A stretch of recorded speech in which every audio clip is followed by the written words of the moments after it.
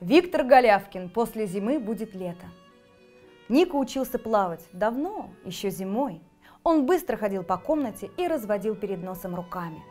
Вот так, раз-два, раз-два, и получалось совсем неплохо, стиль брас. При этом он фыркал, будто в воде, но как настоящий пловец.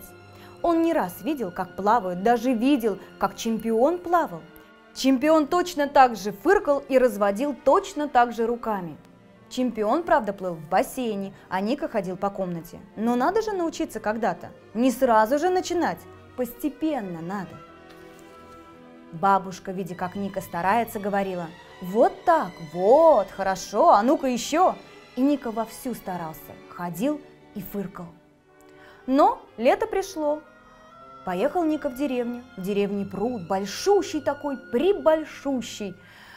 Пошел Ника к пруду. Замечательный пруд. Стоит Ника, смотрит. А в воду лезть не решается. Ребята плескаются, плавают, а он стоит и смотрит. Ему кричат, ты чего стоишь? Иди сюда, вода теплая. Я потом, отвечает Ника, а про себя думает, рано еще. Нужно еще подучиться зимой, потренироваться. Дома как-то спокойнее. Спешить некуда. Не последнее лето. Будет ведь лето еще. И верно, будет лето, будет зима.